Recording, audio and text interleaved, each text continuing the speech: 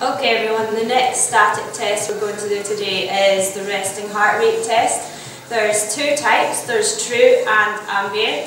So with the true heart rate test, this would be first thing when you wake up in the morning, so make sure you've got a stopwatch next to your bed. You'll take your heart rate over 30 seconds and then multiply it by 2.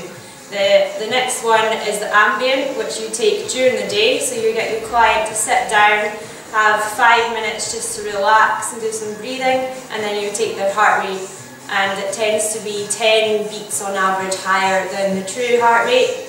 You'd want to take it every day for a week and then add them all up and divide by 7 to get the average.